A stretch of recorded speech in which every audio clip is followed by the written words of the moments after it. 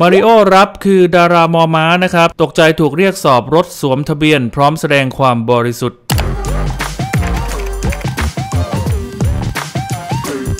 จากกรณีตำรวจจับกลุ่ม2 ตัวการใหญ่แก๊งโจรกรรมสวมทะเบียนรถยนต์นะครับ พร้อมข้อมูลดาราอักษรย่อมอม้า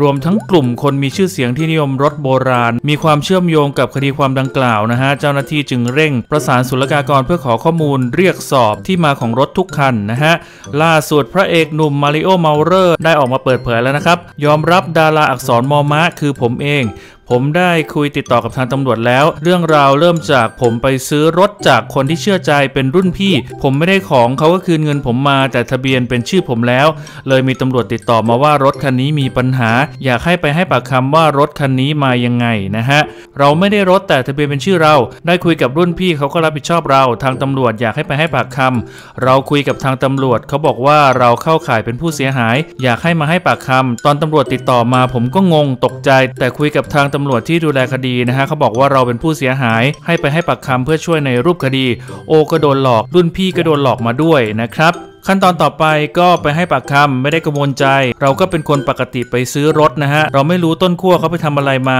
เราเห็นรถมีทะเบียนถูกต้องเราก็ซื้อ ส่วนทางรุ่นพี่คุยกับเขานะครับ ก็บอกว่ามาจากต้นขั้วที่หลอก เขาอาจจะปรับเปลี่ยนข้อมูลหรืออะไรผมไม่ทราบนะฮะ ส่วนโอ้ก็แสดงความบริสุทธิ์กับตำรวจว่าเราไปซื้อแบบนี้ เราเป็นคนที่สองที่ซื้อนะครับ โอ้ได้เงินคืนแล้ว ผมไม่ใช่ผู้เสียหาย แต่เรามีชื่อเป็นผู้เสียหายนะฮะก่อนหน้านี้ไม่เคยมีเหตุการณ์แบบนี้ เพราะเราก็เล่นมานานนะครับก่อนซื้อรถเราก็เช็คละเอียด เรื่องทะเบียนไปโอนที่ขนส่งหรือเปล่า เคสนี้ก็ได้รับค่าเสียหายมาแล้วนะครับไม่ได้เดือดร้อนอะไร เหตุเกิดเมื่อ 2 เดือนมูลค่าล้านกว่าบาท ก็ทำให้เราระวังมากขึ้นนะครับบางทีเห็นเอกสารถูกต้องแล้ว แต่ไปมั่วอะไรมาก็ไม่รู้นะครับได้คุยกับทางตำรวจแล้ว แต่ยังไม่มีคิวว่าไปให้ปากคำนะครับน่าจะวัน 2 วันนี้ คนรอบๆข้างเขาก็ตกใจ ผมก็อธิบาย แค่เราไปซื้อรถแล้วเราโดนเขาหลอก ผมเคยขึ้นศาลมาแล้วแต่ไม่อยากไปบ่อย ส่วนจันจิต้องช่วยเข็นรถอีกเยอะครับ ขอบคุณข้อมูลดีๆจากสมุด .com นะฮะและขอบคุณเพื่อนผู้ติดตามด้วยครับ